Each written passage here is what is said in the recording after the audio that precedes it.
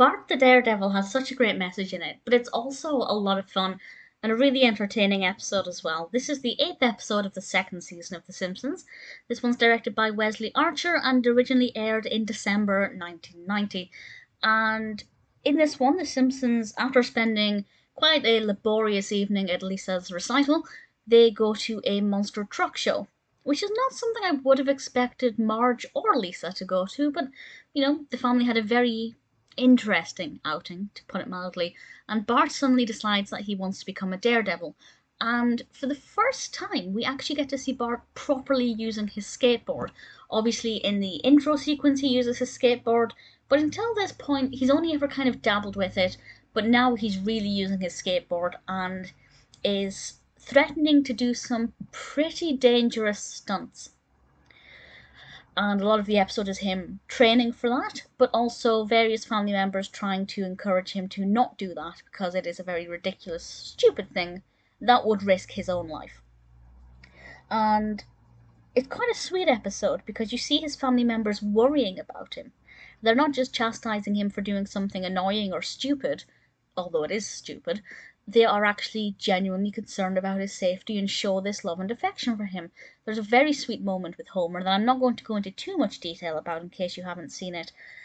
But I thought Homer's attitude was really lovely, and I really thoroughly enjoyed that aspect of the family all actually worrying about Bart and fearing for his safety rather than just getting on at him for being a nuisance. It's also something that I think a lot of younger viewers can relate to. In fact, scrap that. I think it's maybe a lot of people can relate to this. Some people in older life, or you know, when they hit middle aged, or whatever, they may suddenly decide that they want to start doing stunts, or they want to live life to its fullest and experience this great adrenaline rush, which, when done safely and under supervision, can be a really good thing. But obviously, if you're trying to just jump across the canyon like Bart on a skateboard, maybe your family need to have a word with you. I thought it was a lot of fun. Um, we got to meet some really interesting characters. I really liked it. I think I'm surprised they didn't spend more time at the monster truck show. Not that I think they they didn't spend enough time there. I just guess I would have expected them to be there a little bit longer. But either way, I really thoroughly enjoyed Bart the Daredevil. We have had a couple of episodes that are mostly about Bart back to back, and these first two seasons are definitely very much focusing on Bart and Homer. Lisa and, and Marge do obviously get a look in, and every now and then they will have an episode that's mostly about their concerns or problems or desires. Maggie doesn't really get a say in anything.